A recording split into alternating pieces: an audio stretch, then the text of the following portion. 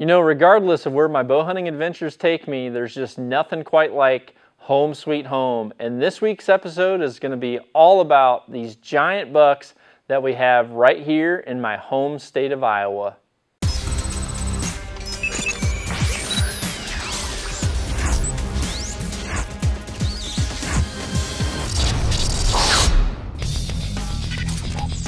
Select Hunter. Select UA package. Select point. Select transport. Select accuracy package. Select nocturnal nocks.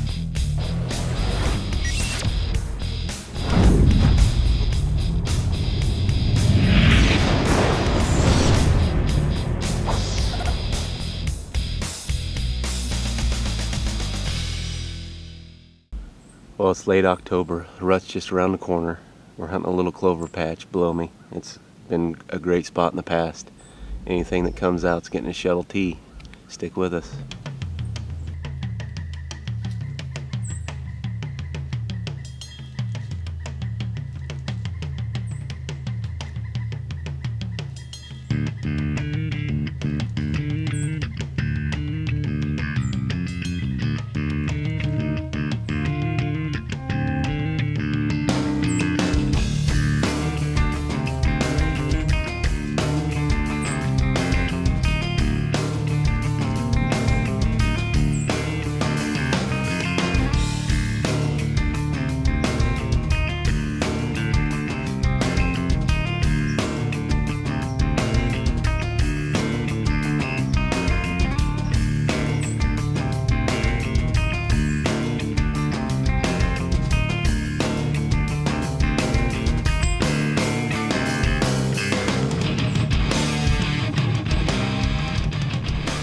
Big bucks like this always seem to take you by surprise, and Waylon was going into this spot on this late October night to fill some depredation doe tags. And since he hadn't hunted this plot in several years, he said that all the locust branches were completely grown up down around the shooting stand, and he said he had zero shooting lanes. So they had to watch this giant for literally minutes before he finally came into a clearing where he could have a shot from the shooting stand.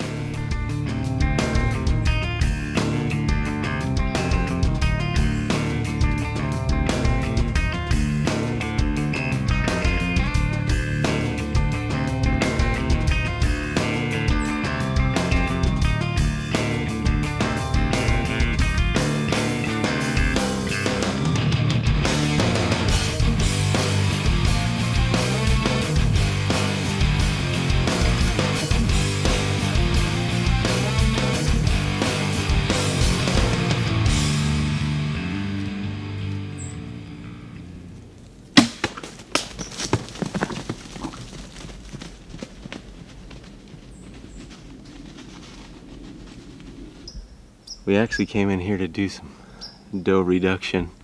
Got some depredation tags from the farmer. He wants some does shot. But I don't think he's gonna be too upset. That's one less mouth that he has to feed and he's a solid deer. This little clover plot's five years old now and I've killed a lot of deer out of this spot. Just a great setup. It's a great staging spot. Clover up to the corn above us. 10 dub combo. Oh.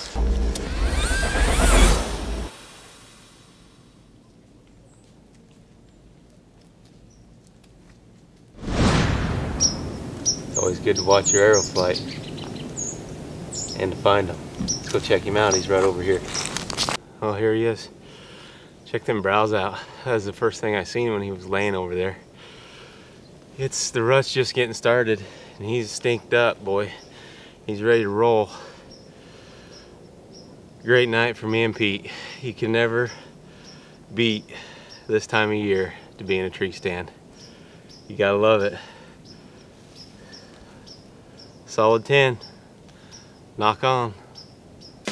Be sure to visit nockonarchery.com to see our entire line of Nock On lifestyle clothing, as well as some awesome Nock On gear and accessories that I personally take to the field myself. Enter promo code SHOWFAN and I'll include a free signed photo.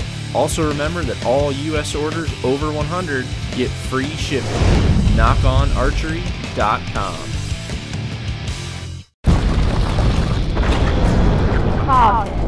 Dead center. Now, in any of the states where I'm allowed to use a lighted nock, I definitely take advantage of that. And I'm a big believer in the nocturnal lighted nocks for a couple important reasons. First off, I like the fact that I can easily turn them off. The linear switch that's in here is awesome because it allows you to take a field point and insert it right in there and turn this off. That's an awesome feature. The other thing is the tolerance on the nocturnal nocks are better than any of the others that are on the market. This thing fits your string perfectly and that helps guarantee the accuracy with your lighted nock compared to the factory nock that comes on the arrow. Now when it comes to installing a lighted nock, I want to go over something with you because I've seen a lot of people do it incorrectly and they're going to end up hurting themselves because they damage either the shaft or the nock by installing these and it's really not difficult. The one thing that you want to remember when you're removing the nock is use a pair of pliers and always pull this thing straight out. You don't want to wiggle it back and forth because again, that's going to crack the end of your shaft. So use a pair of pliers, turn and pull at the same time straight out. And when you remove your factory nock, the next thing is with your lighted nock, you want to go ahead and use a little bit of string wax and put it right on the lighted nock where it's going to go in the shaft. That string wax is going to really help this go in without damaging it because this tolerance has to be super tight because that's what helps your accuracy. So once you've got a little bit of wax on there, you should be able to easily turn this and push at the same time and you're not going to damage the nock or the shaft. Then you can look down the arrow and index your nock to the correct position and this thing's totally ready to shoot and completely safe. Closed captioning brought to you by Trophy Taker, maker of the world's best fall away arrow rest. Long before Nock On TV, I was filming my own hunts just for the enjoyment, and this is a hunt from my good buddy Matt. He tries to sell film and makes a simple mistake of forgetting to turn his mic on, but watch this great buck come in from the lower right. He makes a great shot.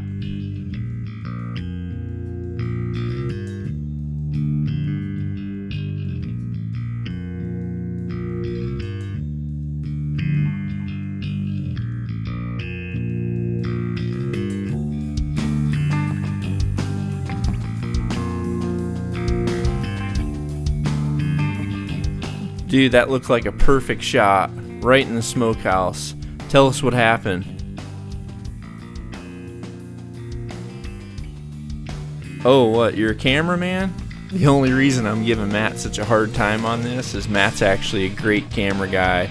And the one time he tries to go out and film himself, he makes the simplest of mistakes. But let's uh, let's get a good recovery from my buddy Matt. Hey everybody, it's Matt, part of the Nock On crew. What a deer. I mean, it's November rut and it was just awesome. I didn't get out till late. My wife had me take the girls down to grandma's a little late, so I didn't get out until about 10 o'clock. But, you know, Dud always talks about, hey, stick to your stand, stick to your plan. And I did just that. I got out, I got in my stand, got set up, hit my horns, cut some small bucks, and then this guy come out of nowhere chasing everything else away. And, you know, put a great shot with the old spider here. Ulmer did its job. And man, I just couldn't be any more proud of this buck you know, one thing to really think about, you know, when you're self-filming like I was this morning, I'm usually behind the camera, is always check your stuff. I forgot to turn my mic on, so there's a lot of lip syncing going on, but uh, it's just something you can learn from. You know, check your stuff, just be patient, be calm, and stick to what you're supposed to be doing. And you get good results like this guy right here. Southern Iowa, nock on. If you're looking to learn more about archery, be sure to tune in to Nock On Podcasts. Nock On Podcasts is a weekly talk show where I get in depth with shooting techniques, equipment setup, and also give you a no BS review on some of the latest industry gear. Nock On Podcasts are great for listening on a road trip or that dreaded ride into work. Expand your archery knowledge with the highest level of world class information on the airwaves. Nock On Podcast. For this next hunt, I'd like to introduce you to one of my favorite bucks of the year, a buck that I call Big Boy. This video was the first time I encountered him three seasons ago on an awesome November morning. You may even recognize this clip from the Nock On Show intro. Big Boy is one of the few mature resident bucks that survived the dreaded EHD virus that killed so many of our deer two years ago. Starting in 2011, I encountered him all the time and got tons of trail camera photos of him. Although he was a great buck and worthy of an arrow, I was saving my tag for that giant buck that I called the Gray Ghost. In 2012, he had packed on some serious bone and was an amazing buck, but like most four year olds, I rarely saw him. In fact, I only got one good look at him the entire season. But what I did notice was it looked like he had maybe contacted the EHD because he looked very thin, sick, and his horn shed very early. When I got my first picture of him this season, I was so pumped. He was definitely on the top of my list, and he was the most mature buck in my area. I was surprised to see that his horns didn't grow as much as I had hoped from four to five, but I relate that to the sickness that he had the year before. This awesome buck that I could once see nearly each time I hunted was now completely nocturnal.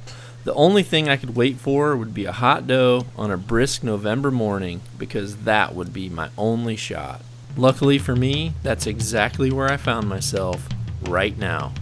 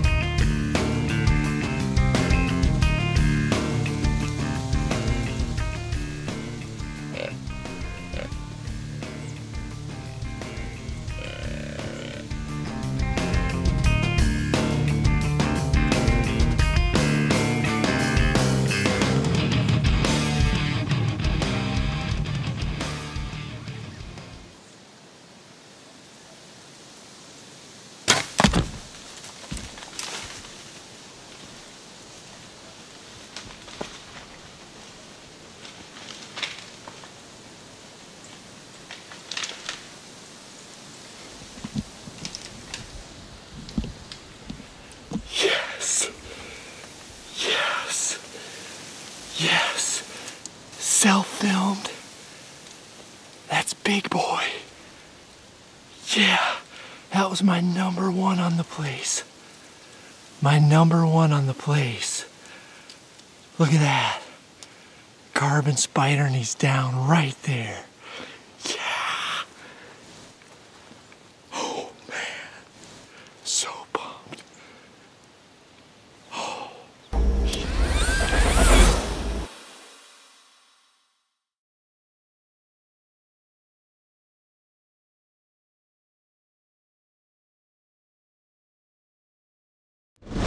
Awesome buck. I just want to show you guys.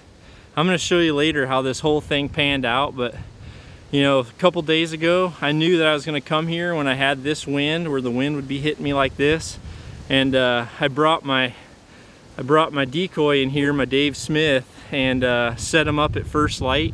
And when that doe came through, she came right by the front of the decoy, never even did nothing to it. But when that buck was right over there and he was making his scrapes, I went ahead and made the grunt and when he looked he saw those horns and he just came in perfect. Check it out.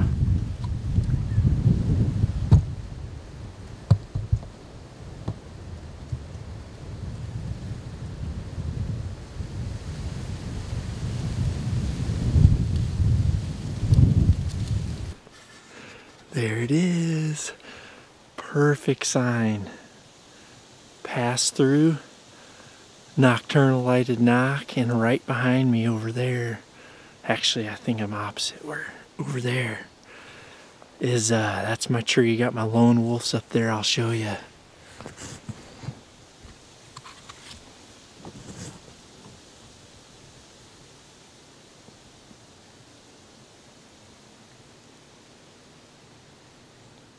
That's where I was, right there.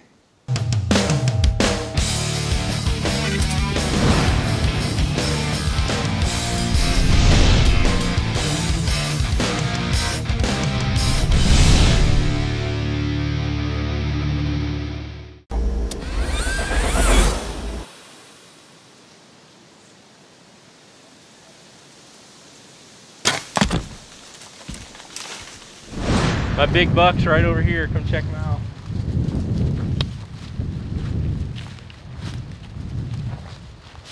There he is, dude.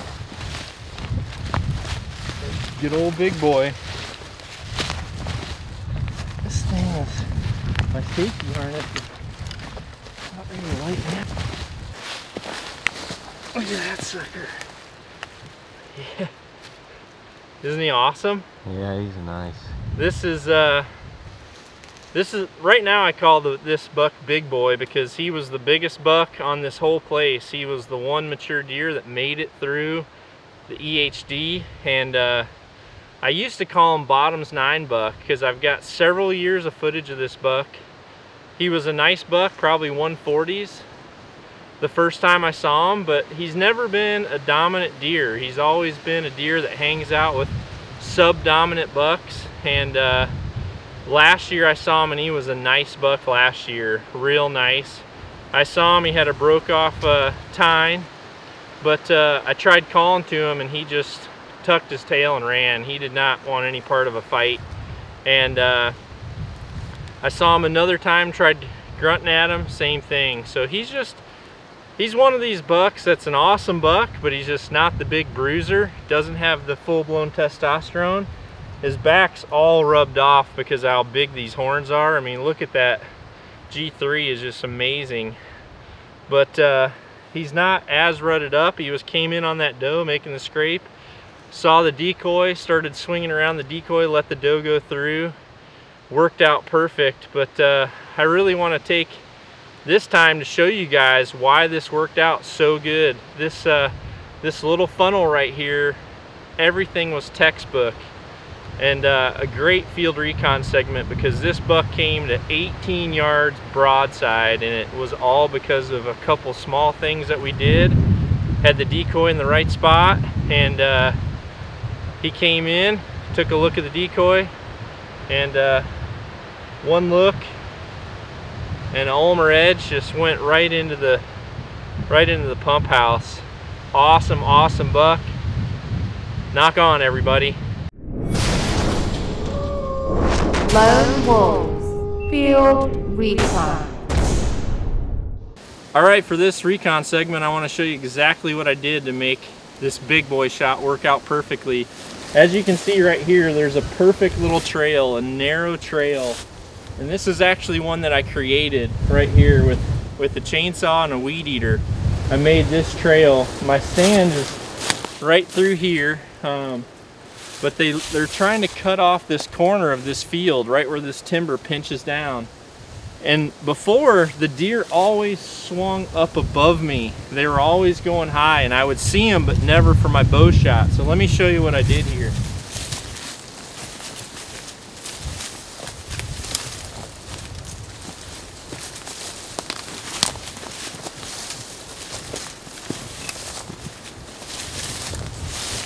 Right in here was where these deer always like to swing high. And like I said, it was just outside of range. It was 50 yards, but just too thick.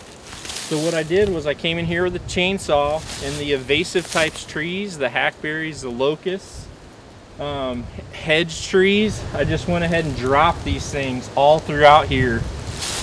The undergrowth grows up. This makes great bedding, but it's not a travel corridor anymore. I've literally cut off their whole opportunity to swing high.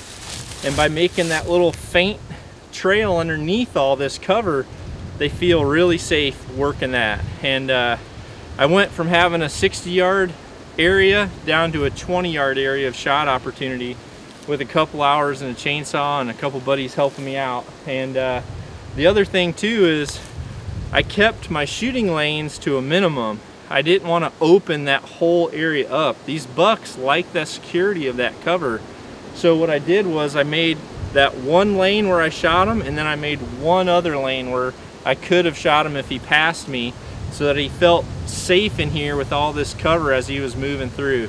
Worked out perfect. This is called hinge cutting, also TSI, timber stand improvement. It lets more light to the ground and this will really boom up with undergrowth. Try it, definitely help you funnel your bucks for a perfect shot.